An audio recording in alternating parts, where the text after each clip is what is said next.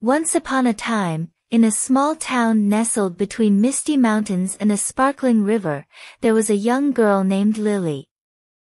Lily was known for her curiosity and her love for solving puzzles. One day, while playing in her grandmother's attic, she stumbled upon an old, dusty chest. As she opened it, something glimmered in the corner, a golden key, unlike any she had ever seen before. Attached to the key was a note that read, the key to the mystery lies in the heart of the enchanted forest. Excited by this mysterious discovery, Lily embarked on an adventure to find the enchanted forest. She packed her little backpack with snacks, a map, and a magnifying glass, ready to solve the mystery of the golden key.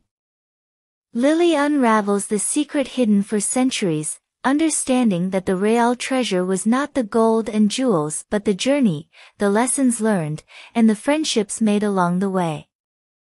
She returns home, now wiser and full of stories to tell. In the end, Lily decides to keep the golden key as a reminder of her incredible adventure. As she gazes at the key, she smiles, knowing that there are many more mysteries waiting to be discovered. The story ends with Lily sitting on her grandmother's porch, her eyes full of wonder, dreaming of her next adventure.